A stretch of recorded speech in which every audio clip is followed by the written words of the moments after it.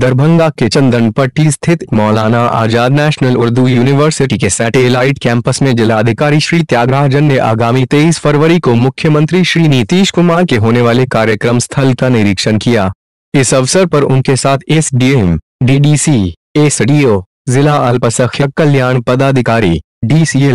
बहादुरपुर एवं हाया घाट प्रखंड के बीडीओ एवं सीओ के साथ अन्य अधिकारी उनके साथ उपस्थित थे। जिलाधिकारी श्री त्यागराजन ने मुख्यमंत्री के आगामी कार्यक्रम को देखते हुए मानू दरभंगा कैंपस में जल्द से जल्द पुरखोपट्टी से लेकर चंदन पट्टी तक उच्च गुणवत्ता की सड़क बनवाने, स्ट्रीट लाइट लगवाने, बैंक शाखा स्थापित करने, प्राथमिक स्वास्थ्य केंद्र खोलने एवं पुलिस एक पोस्ट स्थापित करने, पाँच अपाकल लगवाने के साथ साथ इस रूट से दो बसों का परिचालन करने का आदेश संबंधित अधिकारियों को दिया। उन्होंने कहा कि इस कैंपस में आगामी 30 से 31 जनवरी को अल्पसंख्यकों के लिए रोज़गार ऋण मेला और 8 फरवरी को जनता दरबार का आयोजन किया जाएगा। इस अवसर पर पूर्व मानव संसाधन राज्य मंत्री एवं जदयू नेता श्री अली अशरफ फातमी के साथ अनेक जदयू नेता, मानू कॉलेज ऑफ़ टीचर एजुकेशन के प्राचार्य एवं मानू दरभंगा कैंपस के in charge professor Faiz Ahmad, MANUU polytechnic के प्राचार्य श्री अब्दुल मुकसिद खान, मानू आईटीआई के प्राचार्य श्री डॉक्टर अशरफ